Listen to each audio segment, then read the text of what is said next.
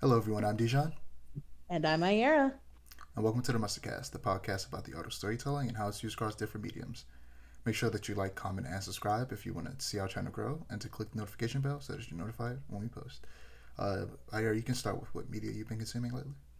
Alrighty. Um, of course, the Nier Automata anime, which I've been enjoying a lot. Started Trigun, loving Trigun. Um, what else? that's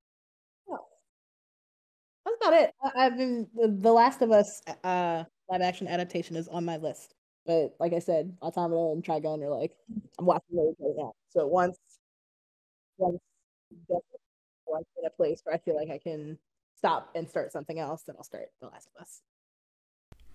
Okay.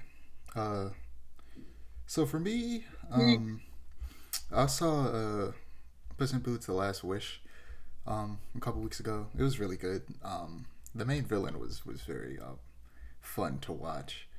Um, it's just essentially the big bad wolf, but he's also death. It's great. Um, I've rewatched Black Adam because there's this um reaction YouTube channel I watch called Blind Wave, and I subscribe to their Patreon and do like full length reactions where you know I have them, you know I you know press play at the same time they press play and essentially watch it while they're also watching it. And um, I did that with Black Adam, and that movie is not worth seeing more than once. Second time watching it, I got like once it was like in a third act, I was like, ah, this is not a good movie. like the first time I saw it, I was like, I had fun. This is a good time, but it is not worth seeing more than once. Mm. It's it's it's definitely not worth seeing more than once. It's not a great movie.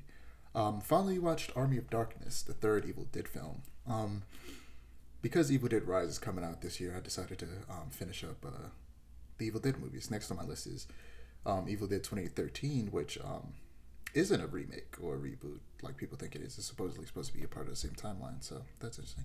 And I think I might finish the last two seasons of um, Ash versus Evil Dead when I if I have time. Um, I've also been watching Seinfeld.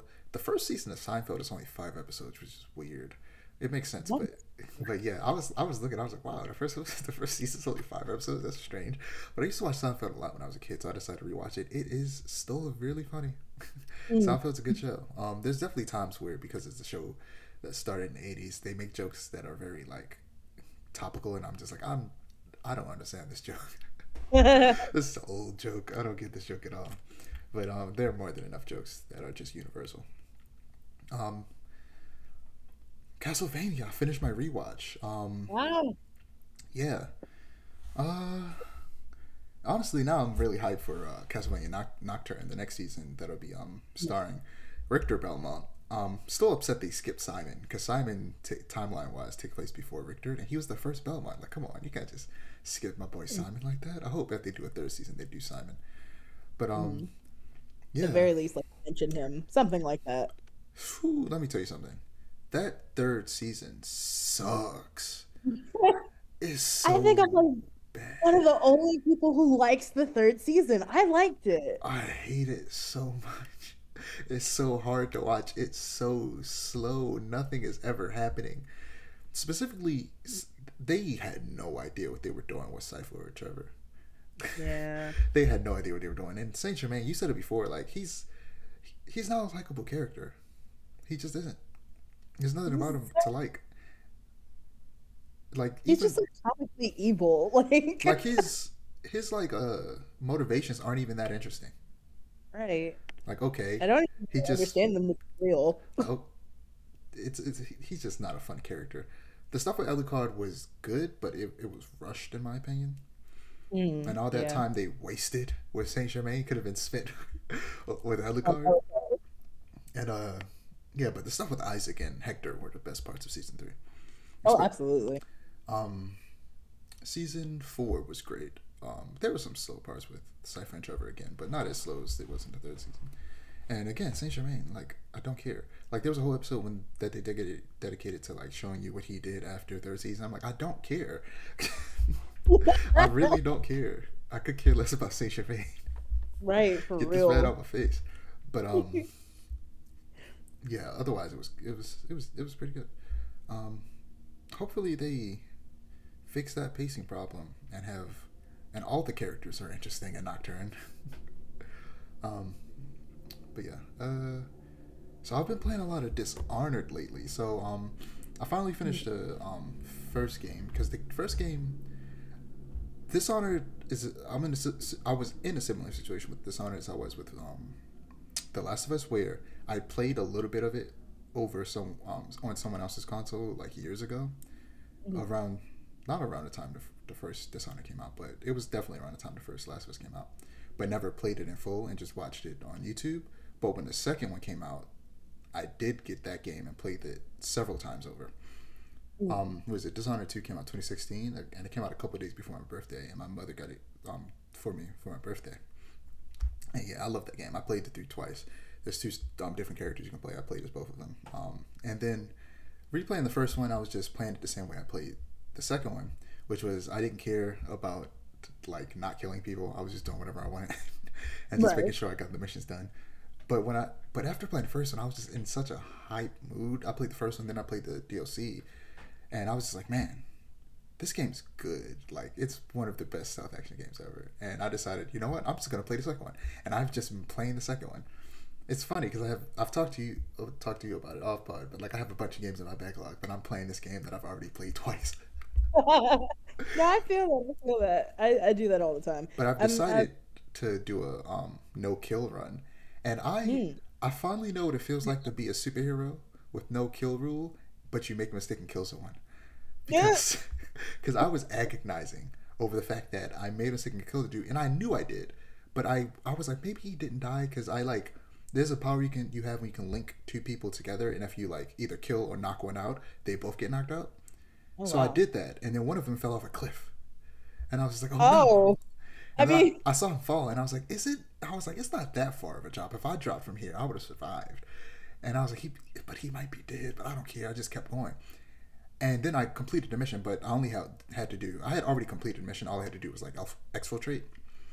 But I was like, hmm. "Let me get this one thing before I leave." So I went, got that, and then left. And then it said, and the stats at the end, you killed one person. Now, killing one person when you're trying to do a low chaos run of Dishonored doesn't completely like ruin the ending of the game. Like you don't like kill one person and up you get the bad ending. No, you have to like kill a lot of people. right, right. so it didn't ruin that, but I didn't want to kill anybody. I, I'm- um, I I feel like though, like the circumstances in which that person's death happened were not your fault. Like, me personally, I would have just been like, I, I- I'll take the L and move on. yeah, yeah. You have I- a lot more yeah. integrity than I do. the only reason I didn't is what the only reason I did I did move on, even though I didn't want to, is because I didn't have a save in a in a good spot where I could go back and fix that. I, I would have had to like redo a bunch of stuff that I didn't feel like redoing to try and un, to make mistake to, to undo that mistake. So I was just like, forget it. I'll just move on. I'll just have to live with the fact that I inadvertently killed this man. That's right. I was really over here feeling like Daredevil and Chip Zdarsky's run where he he made a mistake and killed somebody and then and then he put himself and then he went and like turned himself in and went to jail.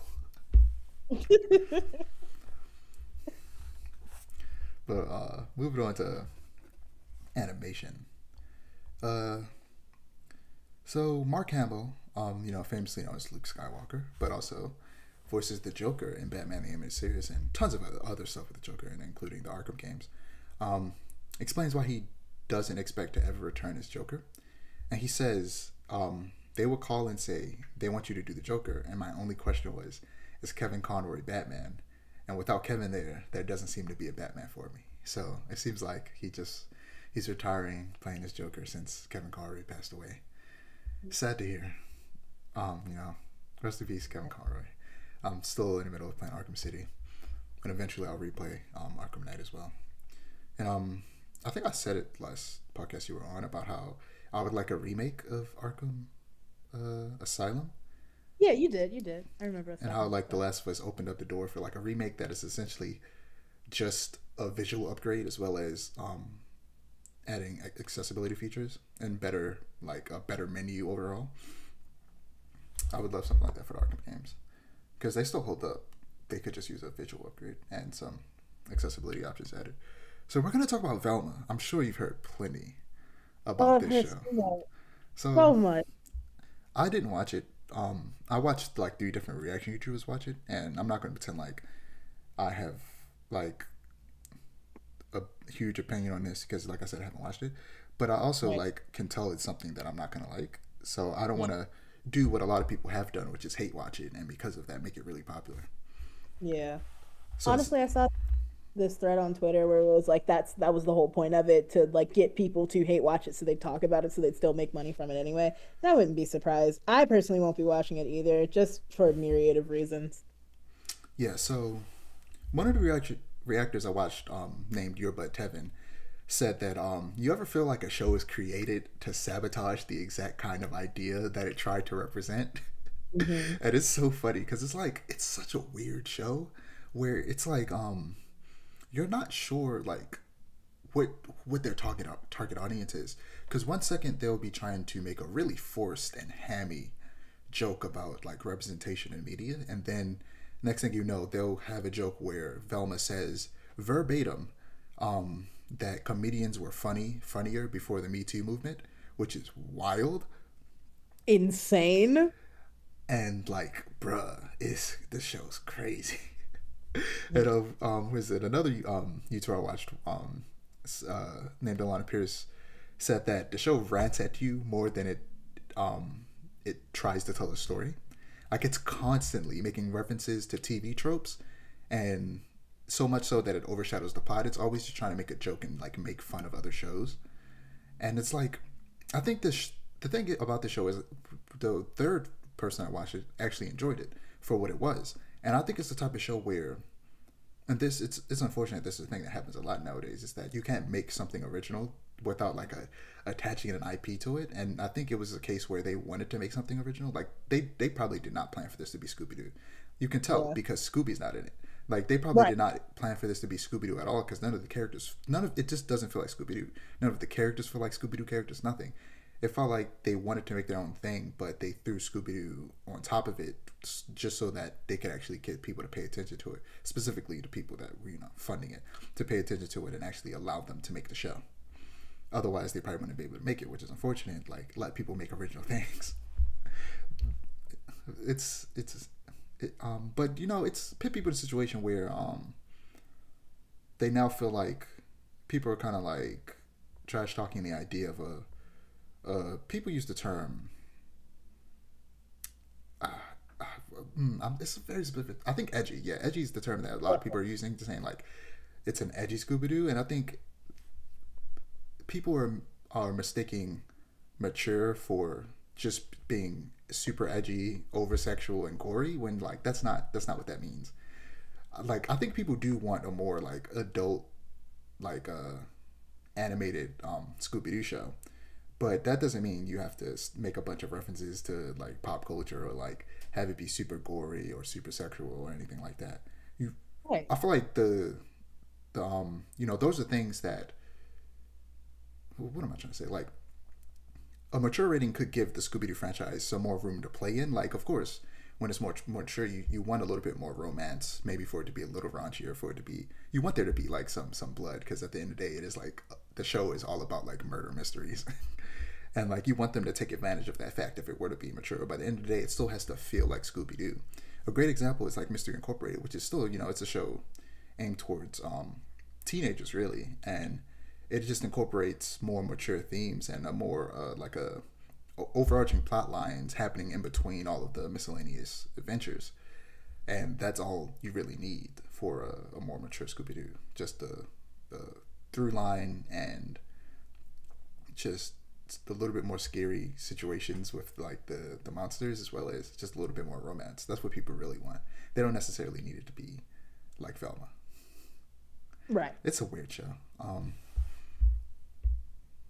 uh, also, I should point out that Charlie Grandy is the writer of the first episode and a lot of and is a uh, he I don't know his name showed up in the credits a lot, um, and like people are like throwing all of the the blame on uh on Mindy, but it's like this Charlie Grandy is because she's like ex- executive executive producer and voices Velma, and I'm sure she probably has written some of it in some of the episodes.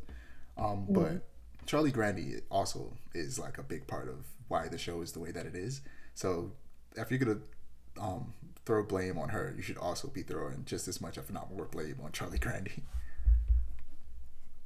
Right. but uh, Trigun. Um, so how many how many episodes have you seen? All the episodes, or just the first or two? Just the first. Just the first.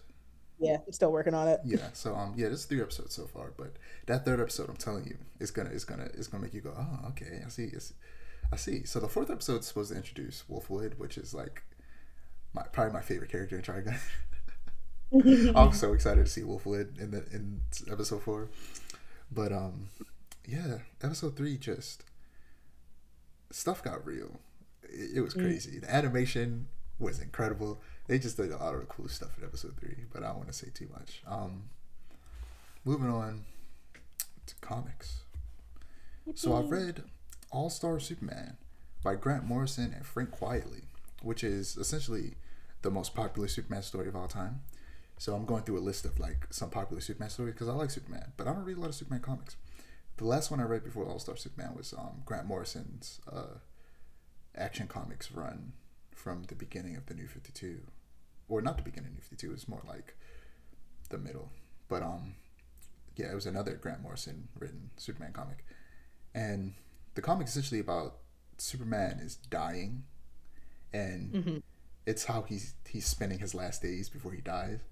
And like most Superman stories, it's very inspirational and full of hope, which is which are the things that I live for, and it's why I like Superman so much.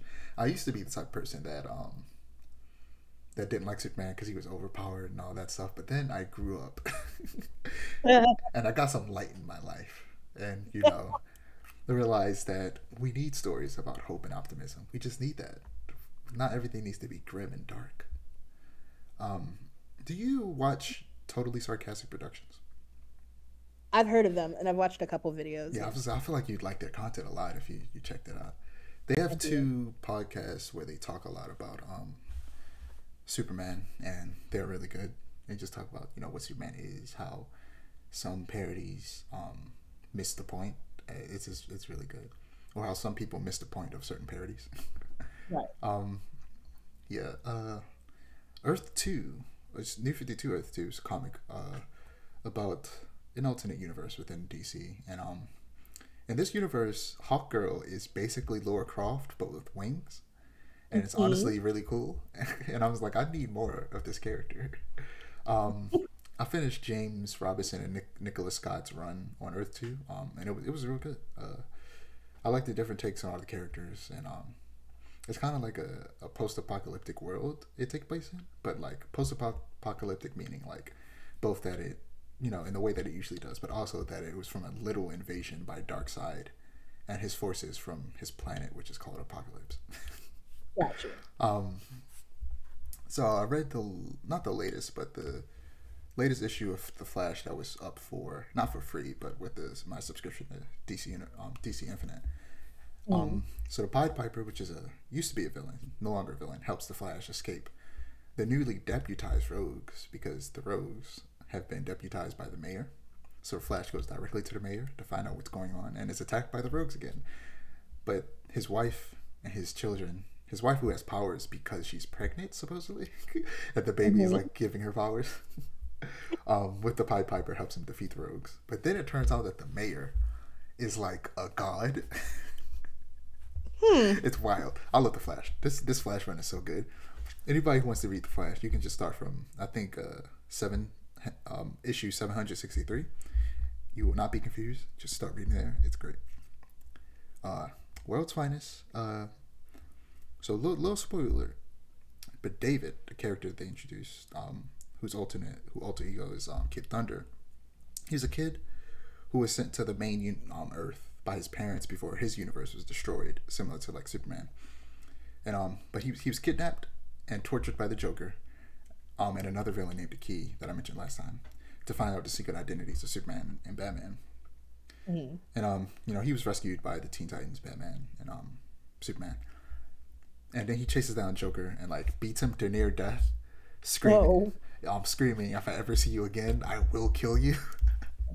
and then on the next and final page, we see that this has been a low key origin of Magog, who you that name that name means absolutely nothing to you, but he's a, he's a Superman villain that was first introduced in Kingdom Come by um, Alex Ross, and it was such a good twist. I when I when I when I tell you when I turned that page and I saw Magog and I was like, it's Magog.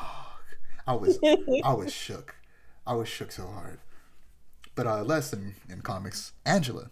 So there's this character in Marvel named Angela, who is um Thor's sister, and all I did was see a piece of artwork. I'm gonna I'm gonna I'm gonna find it on my Instagram and um and put it up on the screen. But I saw this artwork of like a cover for a Thor comic where it was Thor and Angela, and I just saw it and I was like, man, she looks really cool. So I googled her, and I'm looking like, man, she looks really cool.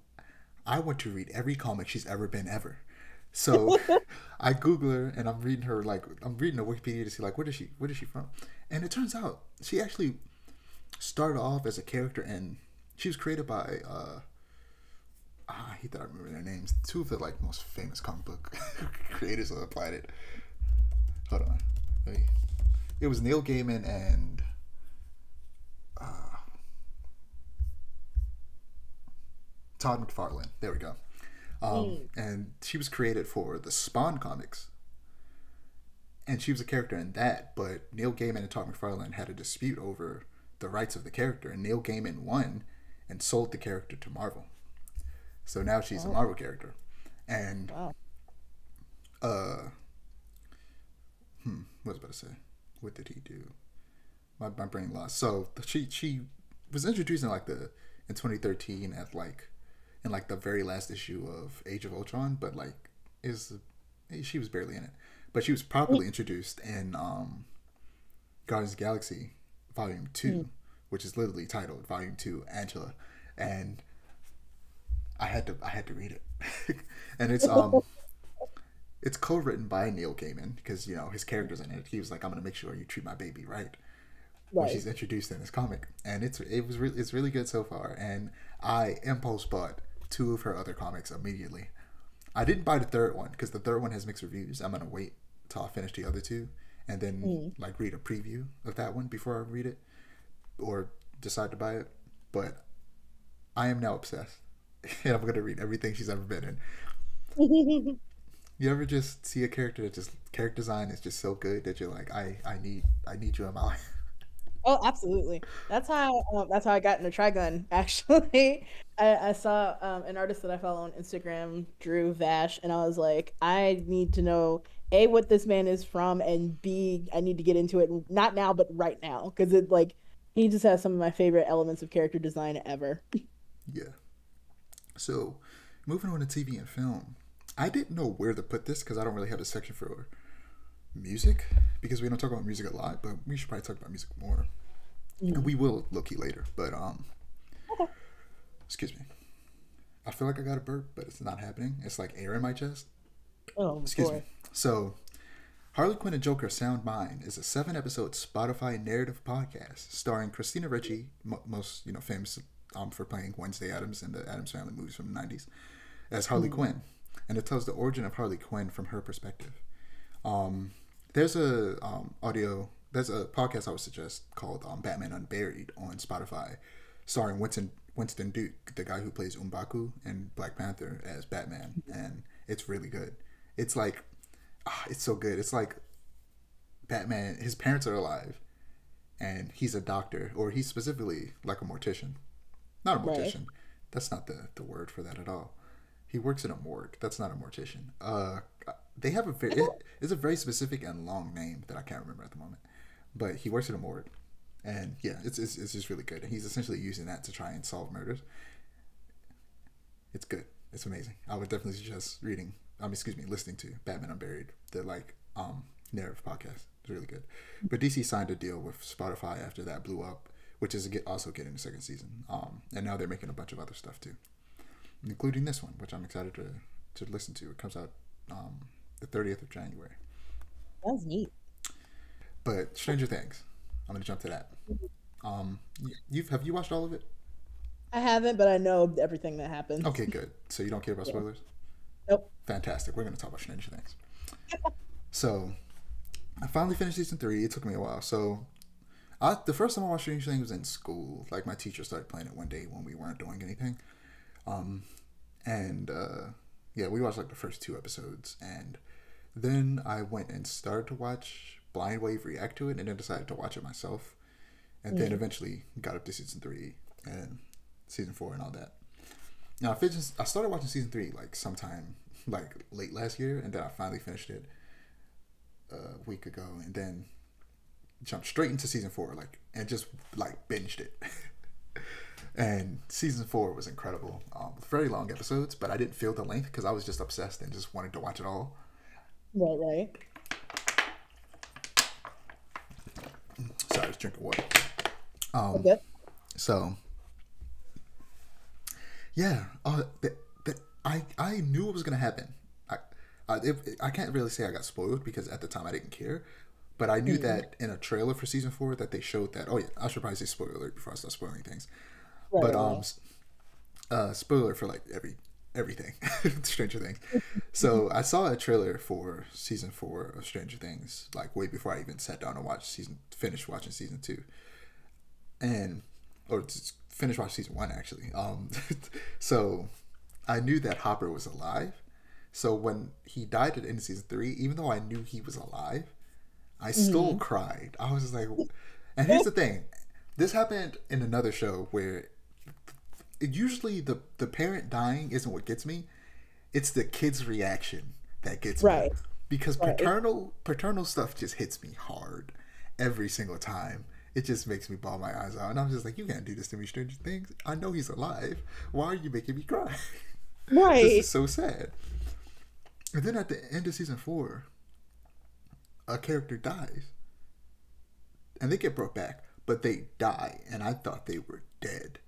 And I was just like, no. How dare you kill this character who has been better this season than they ever have been? And you just murder them. They killed like two characters.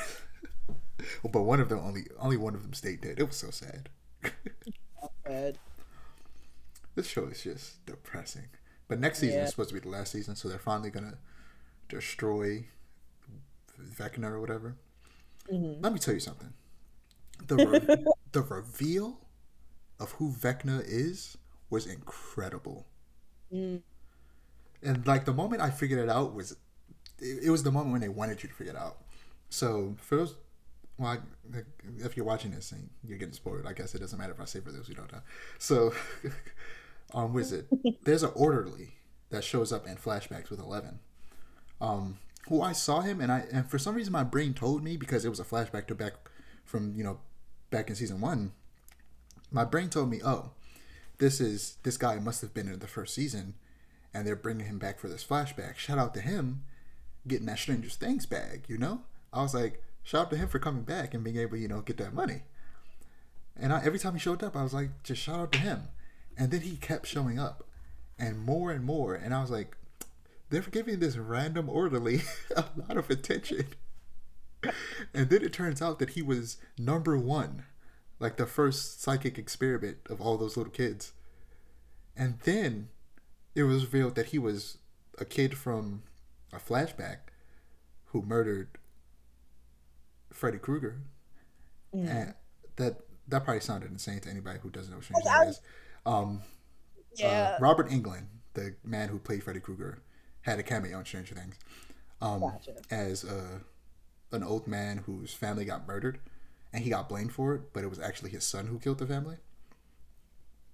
Um, because the the main villain in season four is basically Freddy Krueger, so they had Robert, Robert Englund um, cameo, and yeah, um, so my brain, I was just like, I was like, he's number one, and then I was just like, he's Vecna, and I was, it was, I was just shook. I was like, this is so good. Things is great. I can't, I can't wait for the last season. So a lot of people don't like in that in the last two seasons, Will hasn't been like doing a lot. But the reason I don't care is because in the first two seasons, that kid was going through it.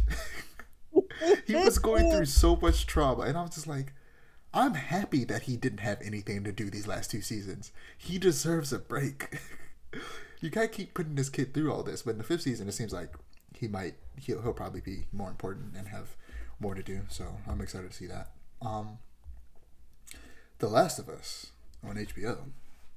So I'm not gonna spoil anything, but The first episode was literally a movie. It was like an hour thirty. so like it's a long first episode. Right. But um for the most part it's telling the same story but making enough slight changes and adding just enough new context to situations to keep it like exciting for people who um, already played the games. And um a lot of the actors are doing a great job like m- mimicking the voices um from the games. Like what is it, Tommy, um Joel's brother? When the dude who played him walked in and started talking, I was like, that's just Tommy. He, he just sounds just like him. Everybody, almost everybody, um, sounds just like the actors except Marlene. And you want to know why? Why? Because it's literally just the same voice. It's just the voice actress playing the character. Well, that's crazy. yeah, she's just she's the only person who's actually playing the same character that she played through the game. That's the only reason why. so, um, based on a preview that they showed at the very end of the show, which you shouldn't watch if you haven't played the game before, um, actually, that's not true. Because if you watch it, you won't understand what's happening because you haven't played the game before. So never mind, you can watch the preview at the end. But um, it's essentially like a this season on, like what this season will be without like explicitly spoiling big things. It's just showing you like what like just to like keep you interested to see if you want to watch the rest of it. And based on what they show, the entire first season would be the first the entire first game. And based on the pacing of like the last two episodes and what the third episode is about to be, I can already tell what's what's going to happen on each episode. So yeah, I'm, I'm excited. Um, so the the opening of episode one is a fictional talk show interview that takes place in the '60s about viruses, and one of the guests um, talks about cordyceps and how they can't exist in humans because our body temperature is too high, but if the Earth were to get warmer, mm-hmm. they could mutate and be able to exist in warmer climates, which is scary Very scary. because the Earth is getting warmer Yeah. and they could mutate and exist in warmer climates. We could really have a zombie apocalypse, and that would suck. Spock is a very like that's an understatement.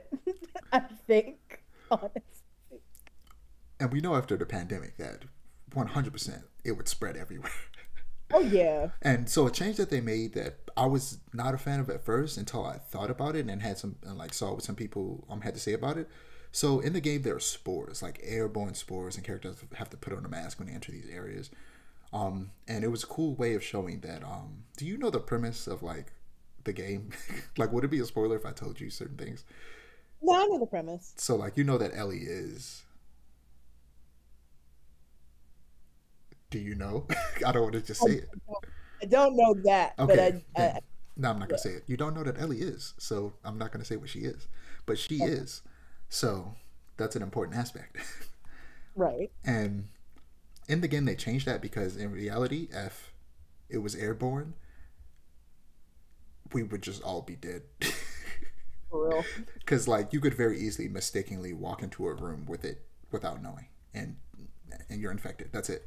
Whereas in a video, whereas in a video game, it doesn't matter. In real world, like you would just be dead. So instead, they did something else that actually made it that you couldn't do in a video game, but you can do in a show. So they did a reverse, where it's um, funny enough, it's very similar to Stranger Things. It's a hive mind because oh. mushroom, mushrooms like burrow in the ground and like con- connect to each other like across like miles. So you can step make a mistake and step on either either kill a infected that's connected to the to the ground through the I forget what they call them the the mycelium I think him. Yeah. or you could like step on it by mistake and you could alert a, every zombie within a certain radius and they'll know exactly what you are. Which is something you couldn't do in a game because that would get real frustrating and really annoying really fast if you had Yeah. to avoid stepping on stuff. That would get real annoying real real quickly. Um so like there's actually is a like a, a, a mission in the first game where you do that and a lot of people don't like that part of the game. It's it's like there's glass on the ground you have to hide from this person and if you step on a glass they'll know where you are and like chase you and people don't Right. like that part of the game i personally didn't have a problem with it because it was essentially a boss fight so it's not like it was like a permanent gameplay thing Yeah. But just based on that fact, you can tell that people wouldn't have liked it if it was a hive mind and you cl- you stepped on something and they were all just after you. But it works really well for the suspense in the game. Um, and yeah, I've told you this um, off pod, but like they, the, a very specific character, they actually, I feel like they handle that character and their story better in the show than they did the game. So I'm excited to see how they do all the other characters as well. Mm, um, mm-hmm. And I don't know if they're going to do this every episode. Or actually, uh, at this point, I feel like they will. But at the beginning of the second episode, they also is a they also go to a separate thing that's that's connected but separate from the main story, where it's like a lady who in Indonesia, um, uh, she's like a, a scientist of some kind, and they are getting her to like study the cordyceps, and she essentially tells them like, "Oh, well, we're all dead. The only thing you do is bomb the city." and stop it from spreading because we cannot we cannot make medicine for this. It's over for everybody. Right. It's crazy. That the show's great. Um. So the last thing I have, and we might just talk about some other stuff after this, but is um, Suicide Squad kills the Justice League. Um, game made by mm. Rocksteady, the same studio that makes um the Arkham games, and this takes place in the Arkham universe. Um, mm.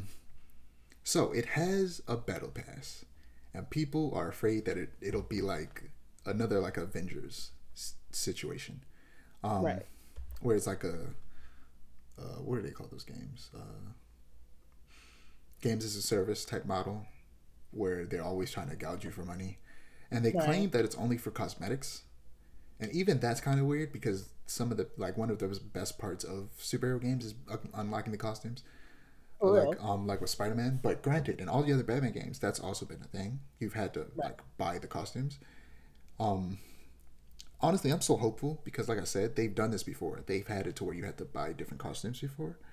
So hopefully, it is just for the costumes and it doesn't affect the actual like gameplay because it's a four player co op, and that's another reason why people people are just afraid of co op games now because one co op game was bad. Like, calm down.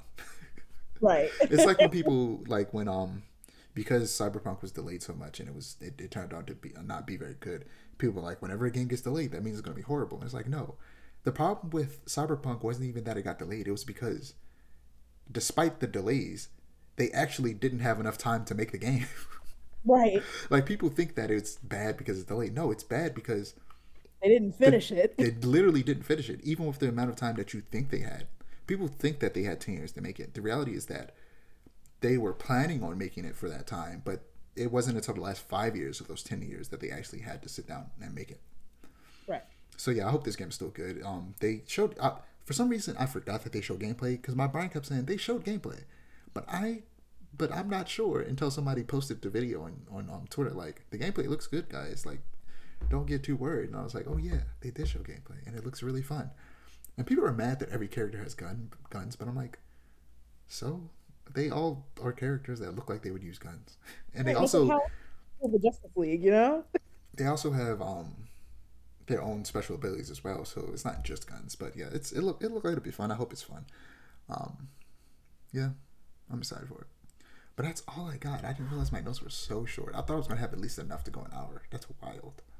That is really wild. That is really crazy. But have you been reading anything? I, I forgot to ask that in the comment section.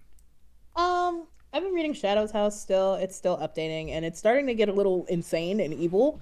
Um, but I'm enjoying it. I'm enjoying it. Trigun, of course. Um, I was I started Spy X Family, then kind of dropped it because it, it felt like it was just the same thing over and over again. Uh, so I, I kind of yeah, dropped that's it. That's why I stopped watching the show because I felt like I was enjoying it, and then I was like, there feels like there's no progress happening. Yeah, it's like I love the Forgers. Don't get me wrong; they're they're great. I love their dynamic, but it's just like it's the same. It's the same like over I, and over. I'd enjoy it more if it was a movie. Yeah. I feel like yeah, it's yeah. it's not enough to keep me entertained for a show because mm-hmm. yeah, like you said, it's just it's the same thing over and over again, and I don't feel like the characters like moving forward. Yeah. But I don't know. Maybe one, one day I'll finish it. Yeah. Um, the Nier Automata anime is on hiatus because of COVID until further notice. So no more Nier Saturdays for me, and that's very sad. Now it's Trigun uh, Saturdays. Stampede yeah. Saturdays. Yeah, now it's Stampede Saturdays. now that, uh, and it it sucks because we only got three episodes, but they were fantastic. Like the debut episode was a little shaky, but episodes two and three uh like the small changes that they made were like they lended to the narrative being better IMO. However, they did take out a character that I really really like and replaced her with someone else and they better have a good like narrative explanation for it or I'm to I'm to be upset. Definitely so cuz the character that they replaced was a person of color. So I'm like y'all better justify this in a way that makes sense or we're to have issues. Yeah, one of the games that I um that is in my backlog currently was um NieR because I found it for um cheaper um, physically on Amazon than it was digitally on PlayStation or Xbox. So I uh, hmm. got that and I'll play it eventually. Um, I there's too many good games. Like next Friday, um, Dead Space remake comes out and I'm gonna be obsessed with that. So I'm trying to beat Dishonored before then. I probably won't, but we'll see. Um. It's a time sink. I definitely recommend like getting stuff that you're more like once like when I played Automata for the first time, it was like once you go Automata, your brain will only be Automata for the time being because the narrative is so complex. you know what's weird?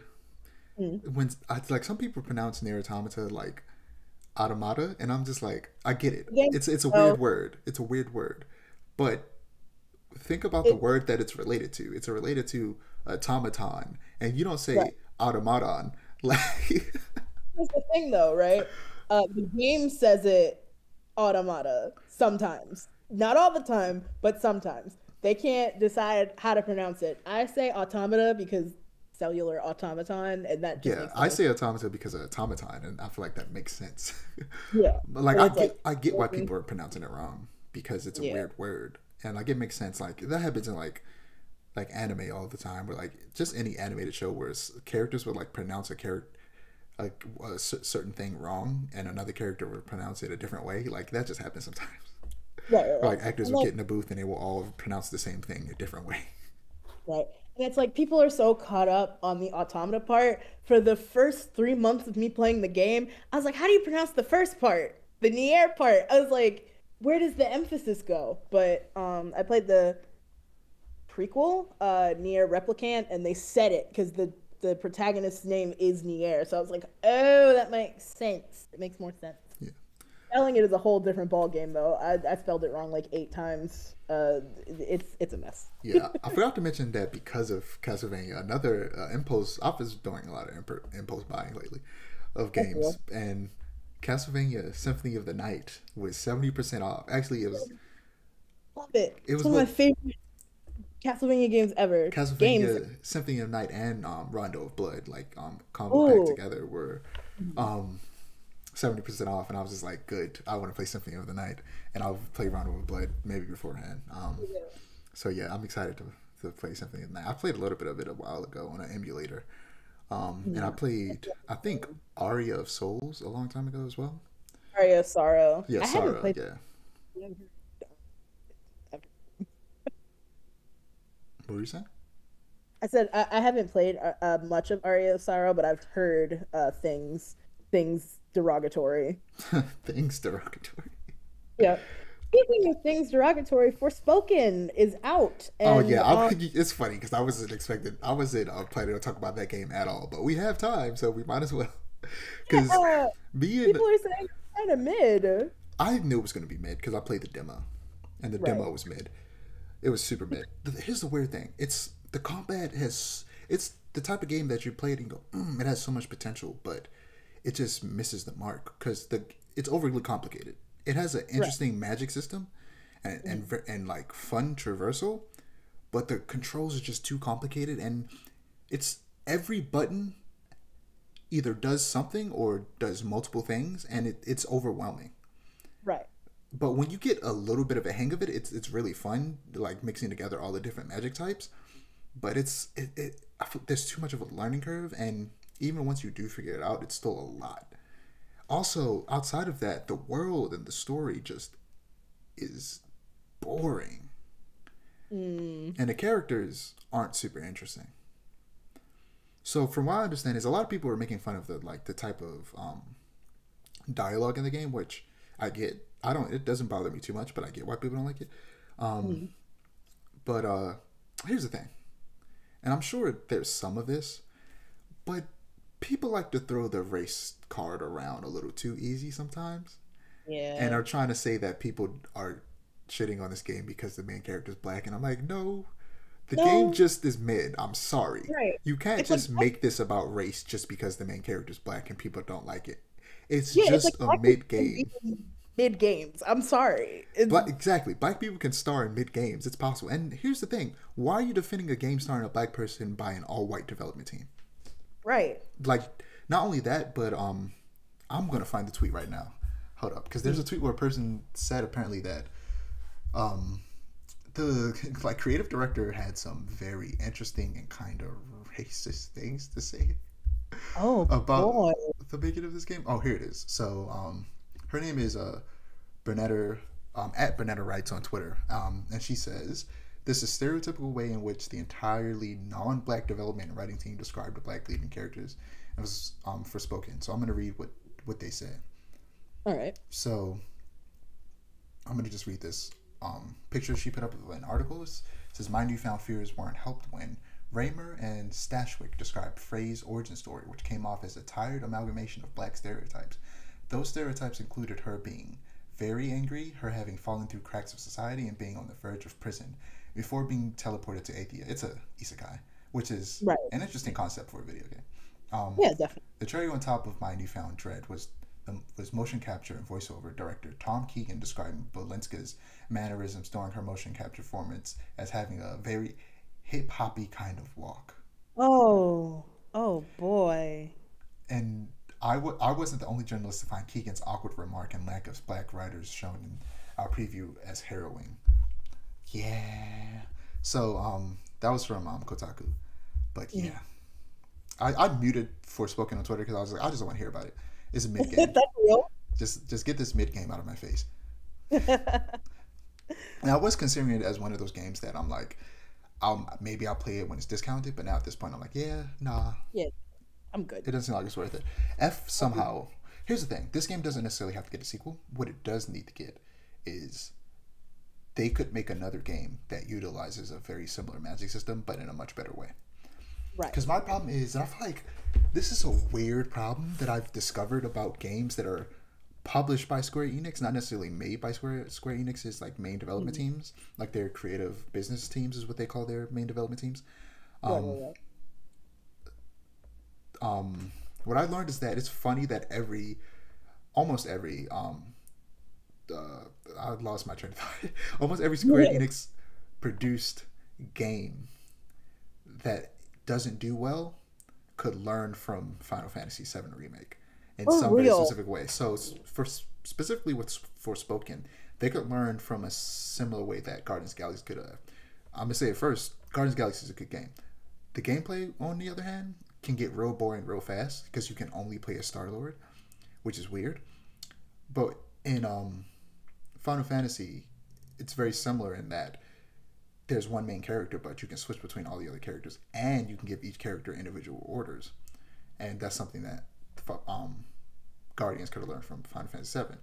Similarly, Forspoken could have learned how to juggle a bunch of different magic and being able to use that magic um, with like n- not too complicated controls. And what um, Final Fantasy does is you can map certain attacks to to certain buttons, and you can press a button and time will slow down, and you can pick between the magic, and then click on it and perform the magic. And I'm like, there, it's just it's a lot. If you like watch a, um, I, I think the demo might still be around, Oh, but um, it's it's a strange game.